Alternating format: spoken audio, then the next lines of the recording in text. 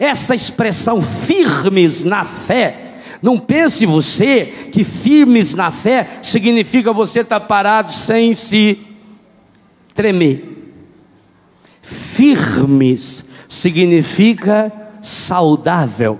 Você deve ter ouvido Felipe Madre falar a palavra santé e a Gisela traduzir por saúde, por saudável. É mais ou menos a mesma ligação da palavra.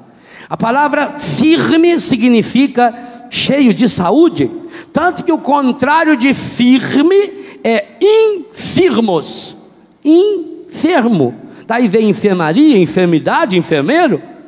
Firme na fé significa você precisa nesse ano cultivar uma fé sarada uma fé restaurada. Você precisa purificar a sua fé, a começar por alguns objetos contaminados que você tem dentro da sua casa. Há pessoas aqui em casa que tudo vai mal na vida porque tem objetos contaminados, coisas que um dia foram entregues ao demônio, coisas que receberam orações demoníacas, porque o demônio tenta fingir e tenta copiar todas as coisas de Deus, ele tenta fazer milagres, o demônio também pode fazer muitas curas, muitos milagres, mas com o objetivo de levar a pessoa a ser cada dia pior. Os milagres do demônio levam a pessoa a ser cada dia mais centrada em si mesma, mais em si mesmada, mais voltada para si menos generosa,